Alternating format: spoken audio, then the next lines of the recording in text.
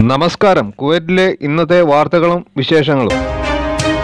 കടൽ മാർഗം കടത്താൻ ശ്രമിച്ച മയക്കുമരുന്ന് കുവൈറ്റ് കോസ്റ്റ് ഗാർഡ് പിടികൂടി.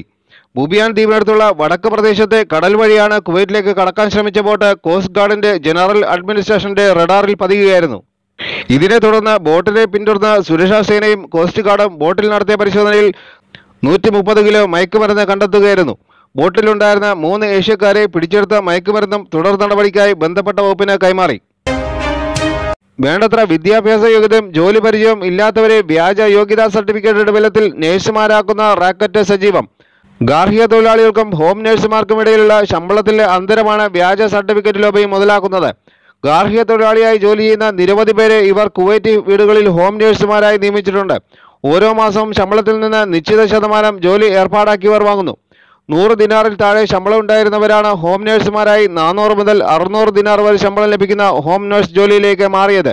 രോഗി പരിചരണം ഉൾപ്പെടെ അറിവും വൈദഗ്ധ്യവും ആവശ്യമുള്ള ജോലിയാണ് പ്രാഥമിക വിദ്യാഭ്യാസം പോലും പൂർത്തിയാക്കാത്തവർ ഉൾപ്പെടെ ചെയ്യുന്നത്.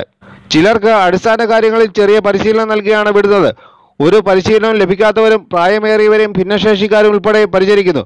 ശരിയായ വിദ്യാഭ്യാസവും പരിശീലനവും നേടിയവരുടെ അവസരം നഷ്ടപ്പെടുന്നതും ഇതിന്റെ ഫലമാണ്. സാമൂഹ്യ മാധ്യമങ്ങളിൽ ഇത്തരം റാക്കറ്റുകൾ പരസ്യം ചെയ്യുന്നുണ്ട്.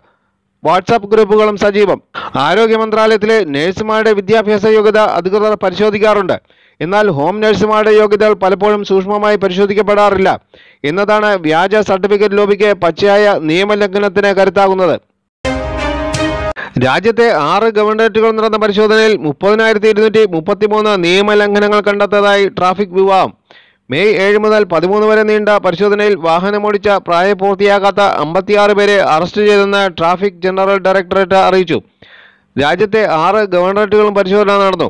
ആഭ്യന്തര മന്ത്രാലയത്തിലെ ട്രാഫിക് ഓപ്പറേഷൻ ഫാം അണ്ടർ സെക്രട്ടറി ജമാൽ അൽ സെയ്ഖിന്റെ മേൽനോട്ടത്തിലായിരുന്നു പരിശോധന. ശക്തമായ പൊടിക്കാറ്റിനെ തുടർന്ന് കുവൈറ്റ് അന്താരാഷ്ട്ര വിമാനത്താവളം അടച്ചു. വിമാന സർവീസുകൾ നിർത്തിവെച്ചെന്ന് അധികൃതർ അറിയിച്ചു. നിലവിലെ കാലാവസ്ഥ വിമാനങ്ങളെ ബാധിച്ചതായി civil aviation directorate general air navigation service deputy director general Imad Al Jalawi പറഞ്ഞു.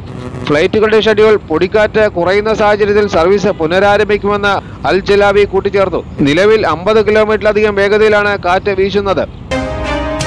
ഇന്നത്തെ വിനിമയ നിരക്ക് ഒരു കേടിക്ക് ഇരുന്നൂറ്റി നാൽപ്പത്തി ഒമ്പത് രൂപ അമ്പത്തിയാറ് പൈസ.